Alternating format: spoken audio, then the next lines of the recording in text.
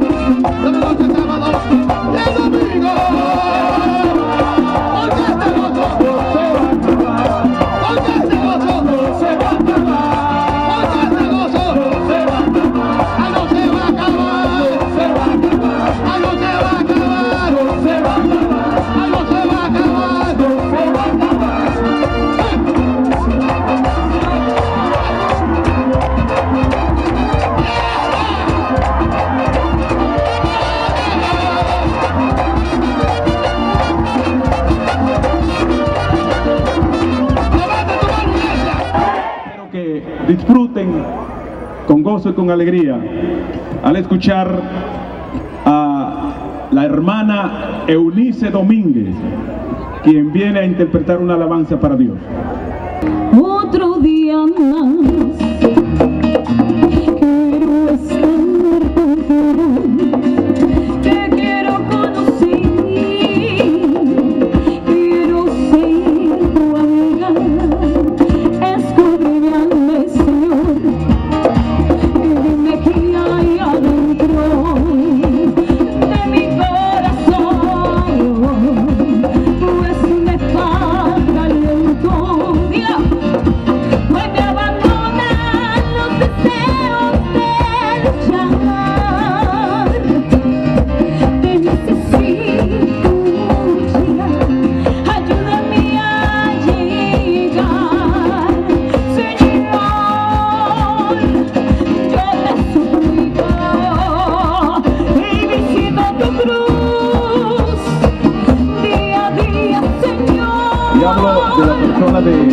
Isabel Valdés.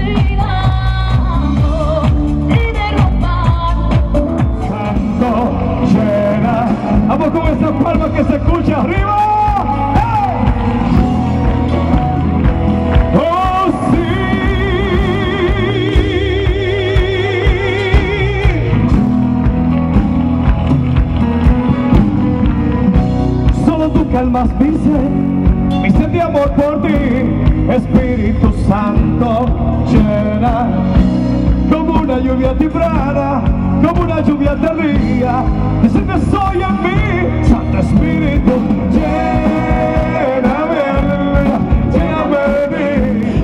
Con un fuerte aplauso vamos a recibir al reverendo Agapito Tavera y su esposa, Gloria al Señor, el cual es el mensajero el Señor tiene en esta tarde. Es un honor entregar al siervo de Dios.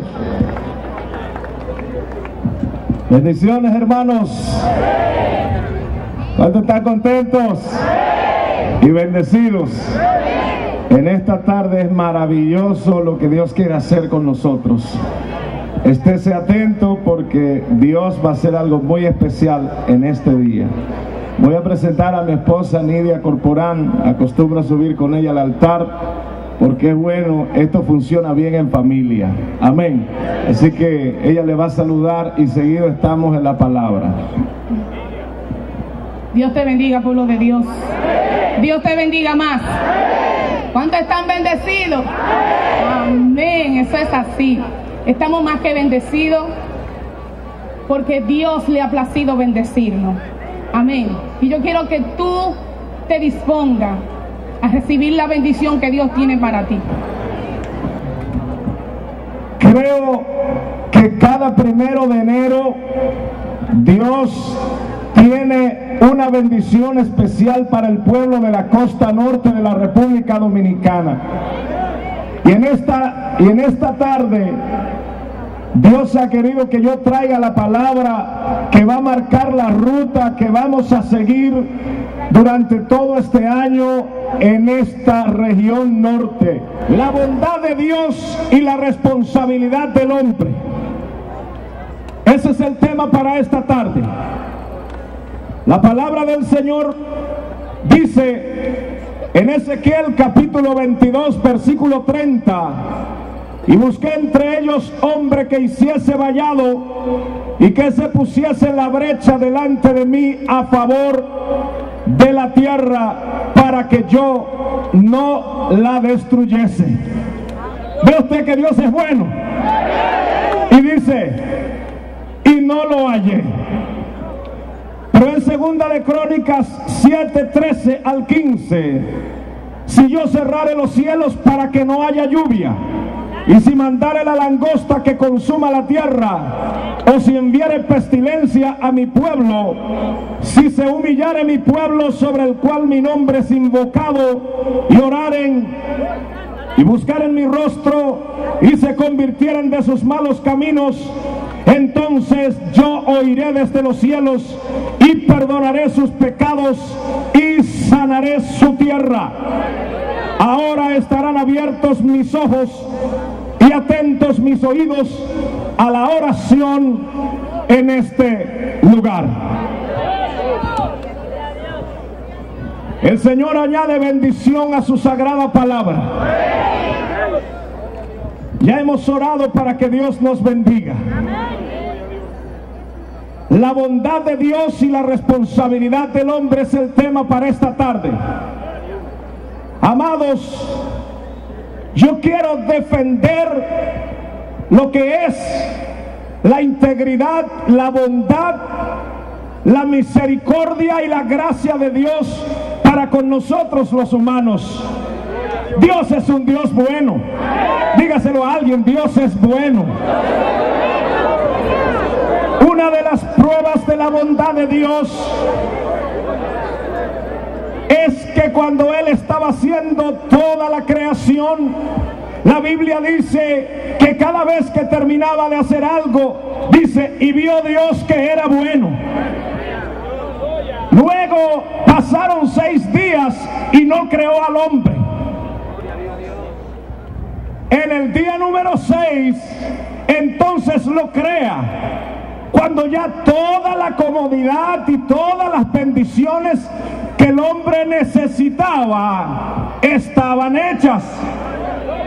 ¿Quién entonces reconoce que Dios es bueno? La actitud es la que va a determinar qué va a pasar con nuestras vidas y con el mundo en que estamos. La actitud de un ser humano es lo que lo lleva al éxito o al fracaso. La actitud de un pueblo es la que lo lleva a superarse o a quedarse enano. La actitud de un pastor es la que lo lleva a tener una visión grande o la que lo lleva a tener una visión, amén, pequeña, limitada. Yo quiero decirle, iglesia del Señor, todo está hecho por Dios. Dios lo hizo todo. Los recursos están en nuestras manos, están en el mundo. Dios lo tiene todo para entregárnoslo en nuestras manos. Depende de nuestra actitud, si lo tomamos o lo dejamos ir. Y hay momentos, aleluya. Escuche esto, una vez Jesús iba entrando a Jerusalén y la palabra del Señor declara que Jesús iba montado en un pollino y dijo, él, Jerusalén, Jerusalén, tú Que matas a los profetas y apedreas a los que te son enviados. ¿Cuántas veces quise juntarte como la gallina junta sus polluelos debajo de sus alas y tú no quisiste? ¿Sabe? Tuvo una actitud de indiferencia. Dejó pasar el momento y vino la tragedia, el luto y el dolor y los cubrió a todos porque vino el momento de Dios y lo dejaron pasar por no tener una actitud correcta. Nosotros es tener una actitud que Dios nos bendiga o que las cosas marchen de mal en peor. Le voy a decir lo que hace la actitud y se lo voy a probar por la Biblia.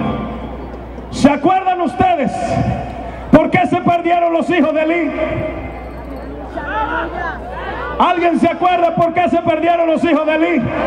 Los hijos de Eli se perdieron por la actitud de su padre. Su padre fue irresponsable. Era el sumo sacerdote, pero tenía una actitud incorrecta. Cuando le dijeron, tus hijos son impíos y tú no has hecho nada para corregirlo. Él le dijo, mis hijos.